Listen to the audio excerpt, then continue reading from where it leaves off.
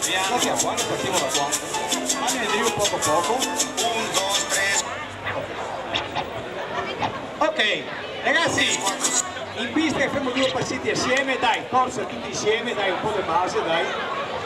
Anche il pubblico fuori che vuole fare due passiti di salsa cubana, vi invito in pista per scaldarvi un attimino la serata.